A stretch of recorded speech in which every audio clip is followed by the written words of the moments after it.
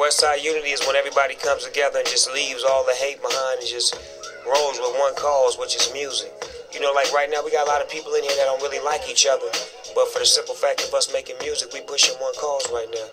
We got a lot of people in here that had animosity with each other in the past, but we looking past that right now because we're looking at the future as far as this is a business. This ain't a street thing. This is a business thing. And once the youngsters start to understand that, they'll get to the level that they want to get to. It's not easy to get to the top. It's harder to stay there than it is to get there. So people need to understand that, and we need to work together in order to keep more people coming to the top.